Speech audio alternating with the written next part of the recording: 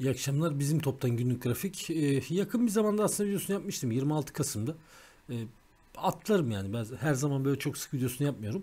Yukarı doğru bir trend vardı orada. Ee, o trend devam ediyor. Önce onu söyleyeyim. Hani trendde bir bozulma yok. Yeni tepeyi yapmış. Şu 3 tane mumun yan yana gelmesi çok sevdiğimiz bir şey değil. Yani şu son 3 mumun bir e, kar realizasyonu ve olma ihtimalini ortaya koyabiliyor. Bazen nadiren dönüşte. Tabi bu, burada büyük bir tepe yok. Büyük bir tepe olsa şu üçünü yan yana görsem böyle tüylerim diken diken olur açıkçası. Ama öyle bir tepe olmadığı için hani o kısmı eliyorum. Ee, ya 3 mumun bu 3 gördüğünüz mum yan yana gelince en fazla dediğim gibi bir kar realizasyonu ihtimalini ortaya koyar. İhtimal diyorum bakın %100 demiyorum onu da söyleyeyim. Yukarı akım devam ediyor. Bakın burada 8 üstleri söylemiyorum. 14.50 demiyorum.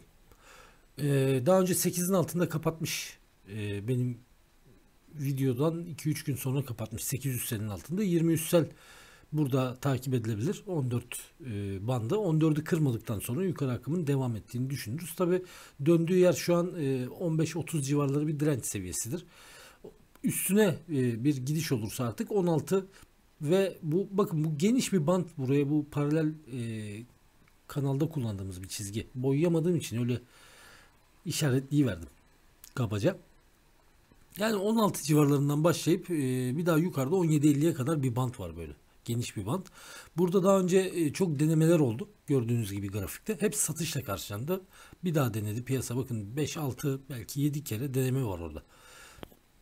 7 yani farklı günlerde denemeler var. E, bir türlü tutturamadı piyasa orada. Dolayısıyla bu geçilirse biraz daha momentum kazanırsa oraya bakarız. Yani asıl karın ağrısı olursa o kısımda olabilir çünkü ama 17.50'nin üstüne bir daha bir gidiş olduktan sonra yeni bir e, tepe denemesi ille olur demiyorum. Ama daha önce 22 yani 20-22 bandına doğru bir hareket beklenebilir arkasından. En ciddi direnci de bana göre onun için orası olabilir. Tabii şey gide yani bir tepeye doğru bir hareket yaparsa oraya gidene kadar arada. Baktığınız zaman e, RSI 65 olumlu bir e, alanda. Biraz işte momentum düşük yani hızlanamadı. Bir e, orada biraz karın ağrısı var. MACD'ye baktığınız zaman o da pozitif görünümü korumaya çalışıyor hala. Yani burada çok e, sabırlıysanız 13'ü de bekleyebilirsiniz mesela. 13 desteğe 50 ortalama. 50 ortalama destek oluyorsa yine sorun yok diye kabul edebilirsiniz ama aradaki marj çok yüksek. Yani değer mi değmez mi onu bilemiyorum. Şimdi çok da e, piyasa hızlı. Bunların dışında e, benim dikkatimi çeken herhangi bir şey yok. Tekrar hatırlatıyorum. Bakın şu üç mum biraz önce söylediğim gibi bu %100 yoktur mum formasyonlarının. Buradan şey çıkmasın. Ha, kesin yarın kırmızı yapar arkadaş bu kar realizasyonu falan dedi. E, falan öyle bir şey de çıkmasın. Hani orada e, bazen gün içinde biter gider.